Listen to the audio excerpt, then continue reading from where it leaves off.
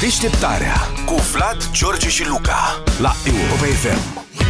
Ne întrebăm cum cântau, sau mai bine zis, la ce instrumente cântau oamenii preistorici. Cântau? Pe unii dintre ei, cred că putem să-i ascultăm și în playlisturile radiourilor de astăzi, undeva în nordul Israelului. Au fost descoperite fluiere, frate, fluiere miniaturale, confecționate acum 12.000 de ani din oase de păsări. Deci ăștia au... Ăștia, ăia, au mâncat aceia. păsările și, și după, aceea aia au cântat la fost ele. Tot. Tot. Șapte oase de mici dimensiuni provenite de la aripi de păsări. Erau cumva pes- pescăruși ceva? Uh, stai Nu că, scrie. aparent, uh, stai că zice... Pescăruși, porumbei? Nu, de alta, dar ce... poate Da, facem au un fost fluier, fluier de dezgropate- obor. Da, au fost dezgropate pe un sit arheologic din Valea Hula, dacă nu știați, în Aha. nordul Israelului.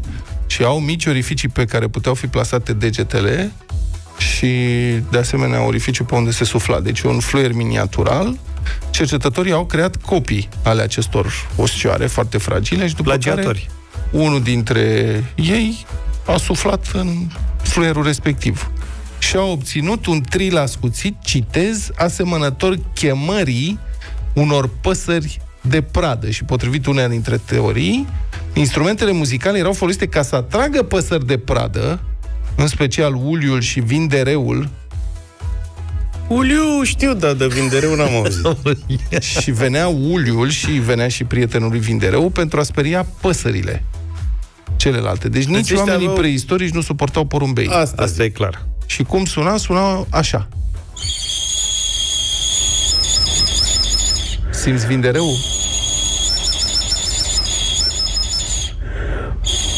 Auzi, mă? Ăsta, eu cred că e dentistul meu. Și după asta a fost inventată. Exact. Exact, da. Deci, mi se Deci pare oamenii că... preistorici aveau și freză dentară. Da.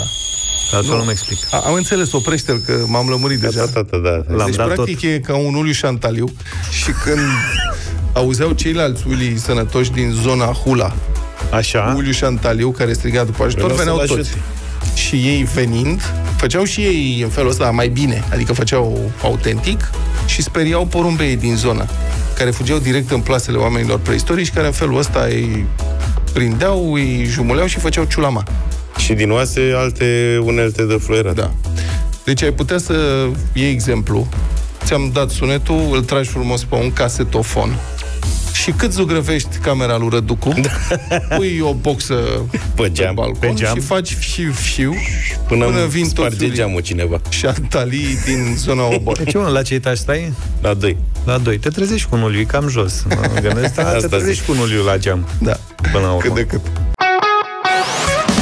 Deșteptarea cu Vlad, George și Luca la Europa FM.